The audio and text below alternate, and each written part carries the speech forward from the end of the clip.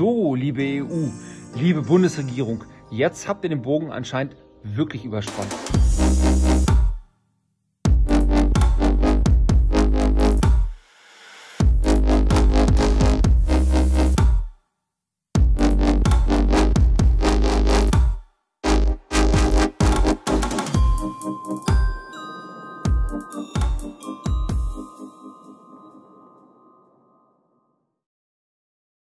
Weil der größte bäuerliche Verband, der DBV, ruft zu Protesten auf. Und zwar laut mehreren Medienberichten zufolge ist der Hauptgrund die Ernährungssouveränität und die dafür notwendigen Produktionsmittel. Beklagt werden steigende Auflagen, regulatorische Zwänge sowie Verbote von Pflanzenschutzmitteln ohne Alternativen und vor allem ohne Folgeabschätzung der Politik. Auch die Preispolitik des mächtigen Lebensmitteleinzelhandels wollen die Bauern nicht mehr länger hinnehmen.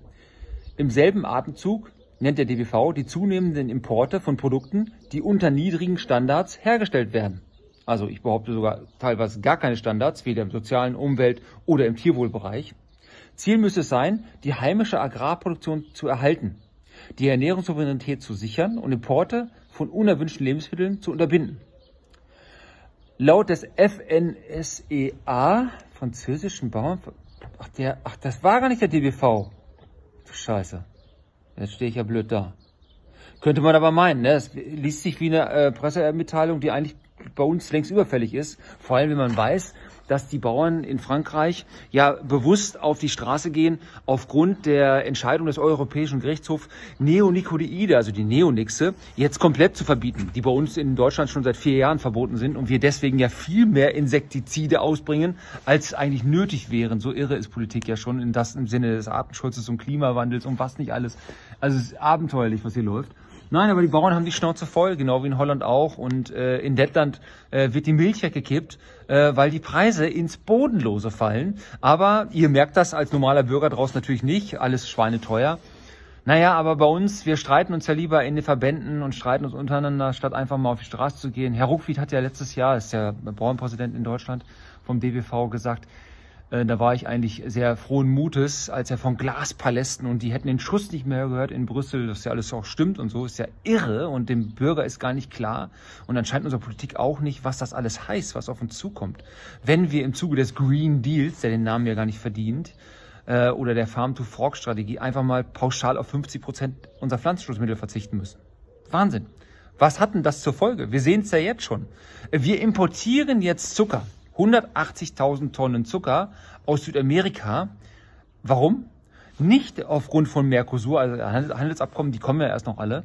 Nein, weil wir zu wenig haben. Irre.